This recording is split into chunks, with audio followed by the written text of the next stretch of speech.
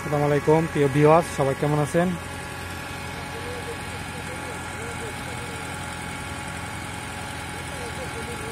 আশা করি সকলে ভালো আছেন আজকে দেখাবো কীভাবে রাস্তার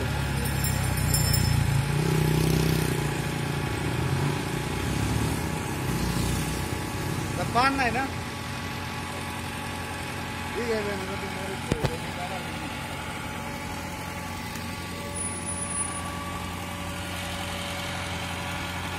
घास गोला काट है।